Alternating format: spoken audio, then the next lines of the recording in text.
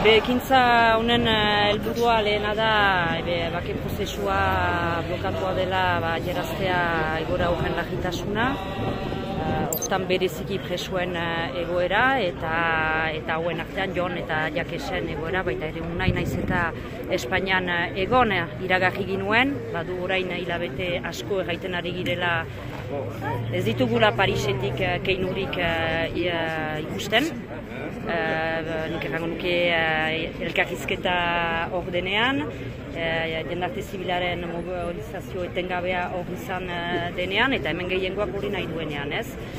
Orduan, uh, sentsazioa da hemen uh, ez dela entzun nahi uh, erriuntan dagoen uh, aldagia eta beharra, bake prozesu horren garapena erako, ulertuta eh, preso eta ieslarien eh, itzulera, iraganari eh, lotutako ariketa guzia, egin nahi duguna, sanoki, eh, hori baita ez, ulertu dezagun zer den gertatu dena epeuntan, eta elkarbizitza eraiki ez.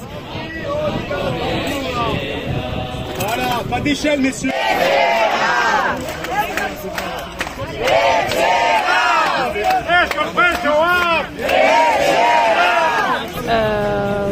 Txatu diren gauza guztiak, mobilizazio zabal-zabala, sustengoak, uh, instituzioen, erritaren, elkartean uh, aldarrikapenak uh, presoen hauzi hau konpondadin, behit duiz ez da aski.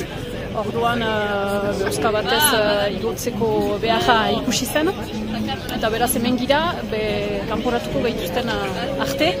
Uh, voilà, gure asmoa zen uh, erakustea uh, toki uh, hau uh, voilà, normalki uh, biziki zainduan den uh, toki hau ere uh, gure aldarrikapenek ez dutela geldiaraziko. Calmadi. Ouais,